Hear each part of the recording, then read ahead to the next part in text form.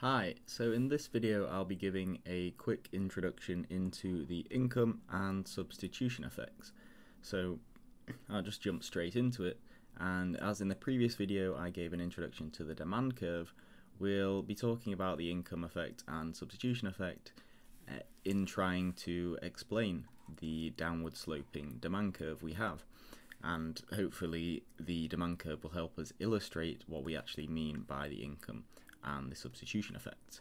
Uh, these are quite important concepts in economics and people can tend to get them a bit confused, but luckily the names of these two effects uh, does give a hint as to which which one each of them is. So we'll start with the income effect. And this says that as the price of a good falls, the amount that a consumer can buy increases. So a consumer effectively has more income, so demand for that good will increase. And this is why we call it the income effect, because we're effectively increasing the income of a consumer. So as an example, let's consider that a consumer has £100 in their bank account and they are looking to buy a good that costs £5 and let's just say that it's books. And for simplicity, let's just say that they're only going to spend their income on books. Uh, we, we could think that they, they don't necessarily just have £100 in their bank account, but they've set aside £100 to purchase books. So clearly here they can buy 20 books. They can buy 20 books for £5, that's £100, and they exhaust their budget. But what if the price of books fell to £4? Well, effectively their real income has increased. And why why is this? Well, their actual income or the amount in their bank account, we're saying that that hasn't changed. They still have 100 pounds in their bank account, but the amount of goods that this can purchase has increased because the books have reduced to 4 pounds. They can now buy 25 books with the same amount of income, but they effectively have more income because their income can buy more. So their demand, because of the change in price, is going to increase from 20 to 25, and we have an increase in demand due to the fall in price due to an income effect. And we can uh, consider this on a demand curve where, okay, if the price is £5, we are going to demand 20 bucks. But if the price falls to £4, we are then going to demand a higher quantity which is 25 and this is why our demand curve is downward sloping because as we move down the demand curve and we reduce our price we're going to increase our quantity demanded and we have a negative relationship between price and quantity demanded. So the demand curve which we should have labeled D is downward sloping. So that's our income effect is that as the price of a good falls just taking everything else as constant our real income is effectively increasing because we can buy more with the same amount of income, so we increase our demand. So that is the income effect. The next one that we're going to consider, and the final one in this video, is going to be the substitution effect, which is very different, but it can equally explain a downward sloping demand curve. So if I can try and fit everything onto the screen at the same time there. So, okay, uh, in this substitution effect, as the price of a good falls, we still have the price of a good falling, it becomes relatively cheaper than the other goods. So consumers will substitute, and hence why it's called the substitution effect, consumption towards the cheaper good, increasing demand. So again, we have the price of a good falling, and so the demand of it increases, but we have a different mechanism and this is what we think of with the income and substitution effects. While they may be doing the same thing, sometimes they do different things, uh, but that's a topic for a future video. But for our downward sloping demand, we think of them as a good uh, decreasing in price, and so its demand increases.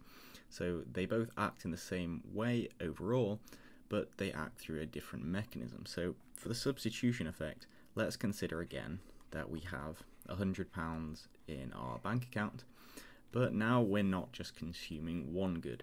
Let's say that we are setting aside currently £50 and we're spending this on uh, £10 books. Yeah, let's keep, let's keep this with books.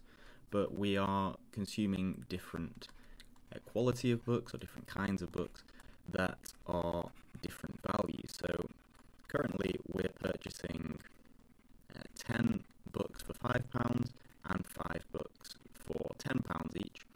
And so we're spending £50 on these £10 books and £5 on £50 as well on these £5 books. We're just buying 5 of these £10 books and 10 of these £5 books.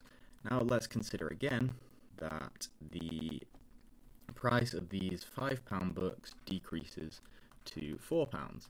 So we've reduced the price of our £5 books, but the price of the £10 books stays the same. Well, we could, in theory, just buy two more of these uh, £5 books because we can now buy 12 books for £48 and that would be an income effect because we effectively have more income, we can buy more because it's cheaper. However, in this case, we're thinking of the substitution effect. And when we think of substitution effect, we're thinking, okay, these £10 books, I'm still getting the same value for money for these, it's £10 for a book, this is exactly the same. However, when when these £5 books have decreased in price, they are now better value for money than the than they were in the past, and so I want to buy even more than just 12 because they are relatively cheaper, so I might want to spend more of my relative budget on them. So what I can do instead is I then I am now deciding to spend £60 on these £4 books.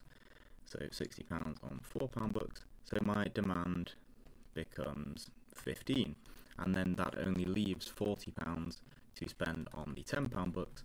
So I only buy four of the £10 books and I'm buying 15 of these £4 books. And so as you can see, I've decreased my consumption of these expensive books to purchase more of these cheaper books because they're cheaper. And this, I acknowledge that this example may be a little bit tricky to follow, so we can think of another quick example. Let's consider that we're spending half of our income on meat and half of our income on bread, and we really like meat, but it's really expensive, and we don't really like bread, but it's really cheap. So we, we buy bread because it's cheap, uh, and for no other real reason, because we need nutrition, and if we can't really, if we spend all of our money on meat, it's too expensive to actually get a decent meal out of. However, if the price of meat falls, then I can justify spending more of my money on meat because I can get more of it for the same amount and I can get more of it or I can get enough of it to give me a proper meal. So I'm going to increase my demand for meat a lot because I can now justify spending lots on it because it is also cheap and this bread is now relatively more expensive compared to the meat so I decrease my demand for the bread. So hopefully that's made more sense. We can we can again put plot this on the uh, demand curve here, which we'll label D, and we can say that again, if we're thinking about these five pound books, we were initially demanding 10 of these books, but once the price fell to four pounds, we increased our demand to 15 of these books, uh, as we as we said uh, with this example. And now, not all of this was coming necessarily from a substitution effect. As I said, some of it was coming from an income effect, but decomposing into these two different effects uh, is a topic for a different video as it's a bit complicated. But I hope that that made some sense. If the if the example was a bit complicated, I was just making it up off the top of my head. So I acknowledge I may not have explained that very well. However, if we remember these definitions and then think about the examples, it should make more sense that as the price of a good falls, it becomes relatively cheaper than other goods, so we tend to buy more of it because it is relatively cheaper. The income effect, to recap, as the price of a good falls, the just pure amount that a consumer can buy will increase. So they effectively have more income, so demand increases and as such, in both of them, as we've seen, we have a negative relationship between price and quantity demanded, so we have a downward sloping demand curve. So that will just about wrap up this video. Please do drop a like if it was at all useful. Make sure to subscribe to add some economics to your subscription feed and check out the playlist for some more introductory economics.